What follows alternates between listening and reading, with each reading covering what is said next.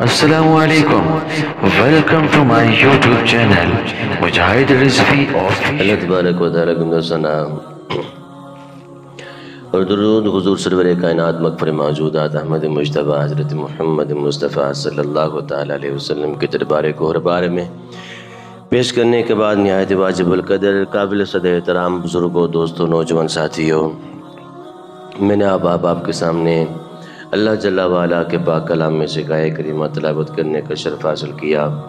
دعائے کہ خلا کے کائنات مجھے حق سچ بیان کرنے کی توفیق عطا فرمائے اور ہم سب کو سن سنا کے اس پر عمل کرنے کی توفیق عطا فرمائے۔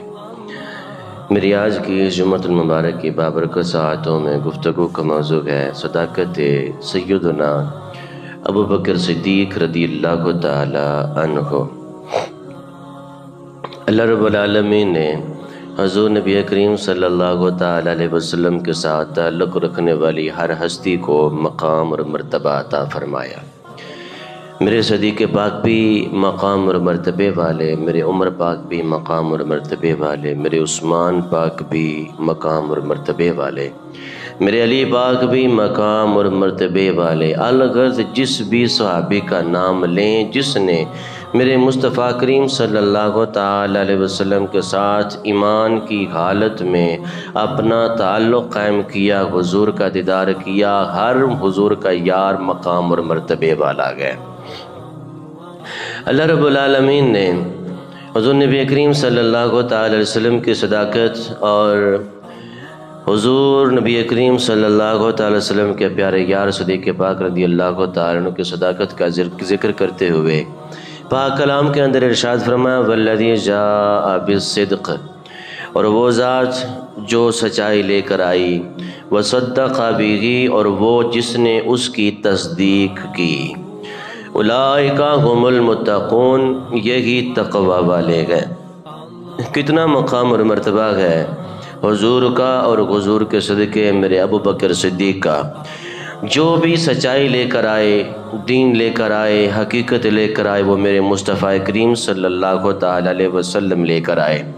جو کچھ بھی میرے محبوب لے کر آئے، اس کی تصدیق کرنے والی کوئی اور ذات نہیں۔ وہ ذات ہے تو صدیق اکبر رضی اللہ تعالیٰ عنہ کی ذات ہے۔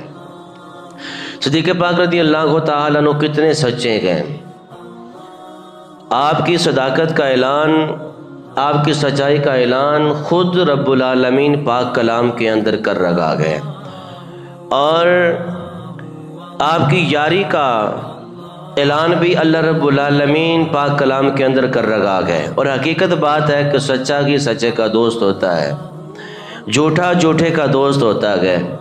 سچا کبھی جھوٹے کے ساتھ ہمیشہ نہیں چل سکتا اور جھوٹا کبھی ہمیشہ سچے کے ساتھ نہیں چل سکتا۔ سچا کی ہمیشہ آخری سانسوں تک سچے کے ساتھ چلتا گیا، جھوٹا کی جھوٹوں کے ساتھ چلتا گیا۔ صدیق پاک رضی اللہ کو تعالیٰ کی اگر سچائی کو دیکھیں، صداقت کو دیکھیں، تو جب سے ہوش سنبھالا، میرے مصطفیٰ کریم صلی اللہ تعالی علیہ وسلم سے تعلق قائم کیا۔ تو اس وقت سے لے کر قبر میں جانے تک صدیق پاک رضی اللہ کو تعالیٰ عنہ نے حضور کے ساتھ اپنی نسبت کو قائم رکھا۔ یہ سب سے بڑی دلیل ہے صدیق پاک رضی اللہ تعالیٰ عنہ کی صداقت کی۔ اگر مکے میں تھے تو صدیق پاک رضی اللہ تعالیٰ عنہ ساتھ، مدینہ میں تھے تو صدیق پاک رضی اللہ تعالیٰ عنہ ساتھ۔ اور اگر سفر میں تھے تو صدیق پاک رضی اللہ تعالیٰ عنہ میرے مصطفیٰ کے ساتھ۔ اگر حضر میں تھے تو پھر بھی صدیق پاک میرے مصطفیٰ کے ساتھ۔ اگر غار میں حضور تشریف لے گئے تو صدیق میرے مصطفیٰ کے ساتھ۔ اگر مزار میں میرے مصطفیٰ تشریف لے گئے تو صدیق میرے مصطفیٰ کے ساتھ گئے۔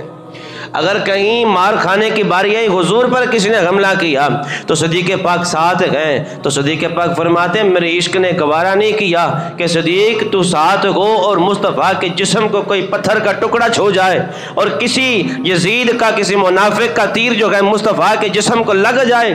صدیق، تیرا عشق یہ گوارا نہیں کرتا جتنے بھی پتھر آئیں وہ تیرے جسم پہ ہی آئیں، جتنے بھی تیر لگیں وہ تیرے جسم پہ ہی لگیں مصطفیٰ کریم صلی اللہ تعالی وسلم کو تیرے گوتے ہوئے تکلیف نہیں پہنچنی چاہیے۔ یہ تھا عشق، یہ تھا مقام، یہ تھی محبت حضور نبی کریم صلی اللہ تعالی وسلم کے ساتھ صدیق اکبر رضی اللہ تعالیٰ عنہ کی۔